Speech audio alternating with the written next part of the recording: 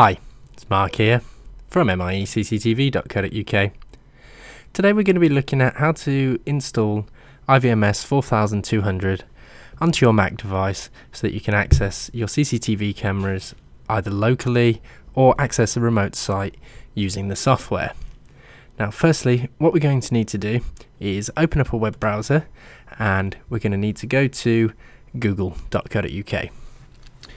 Once we've gone to Google, if you enter into Google Hikvision and then OSX,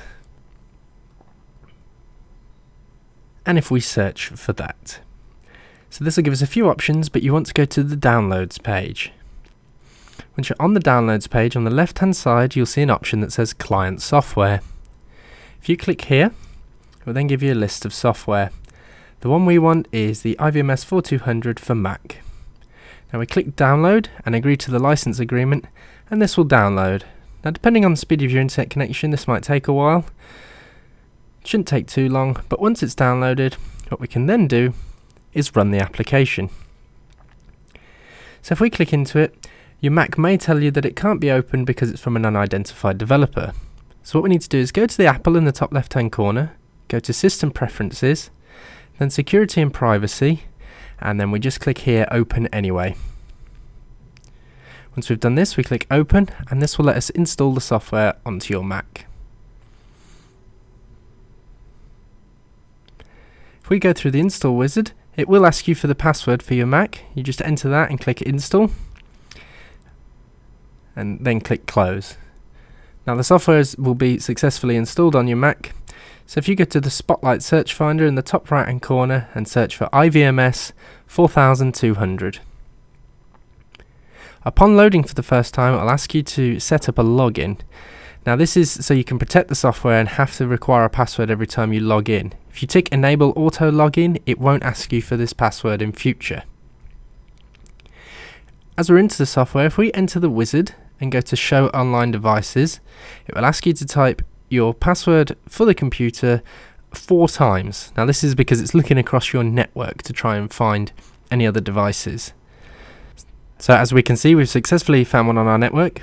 So if we go to select device it will then add this to the add device screen.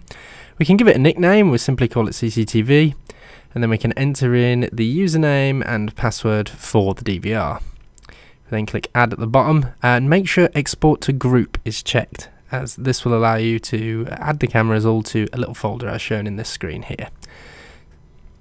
So if we click next, once we're on this screen, select the group from the right hand side and then click import all. Click next again and then click finish.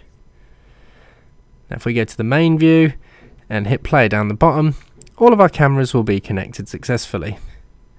So this is how you connect a local device.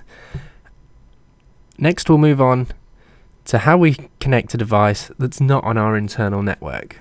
So if we go back to the control panel and we go to device management, this time we're going to go to add and firstly we're going to enter in a nickname for the device. This is just something for your convenience so you can identify it. So for ours we're going to enter in Alliance CCTV the address will need to be either your external IP address or a DDNS hostname that you set up for the device. We'll just enter ours in here and then we enter in the username and password for it. If you click add, it will just take a minute as it's looking across the internet to try and connect to the device. And if it successfully found it, it will show it in the list here.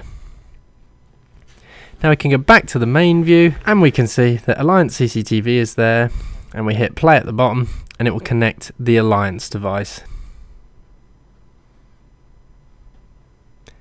So this completes this video tutorial.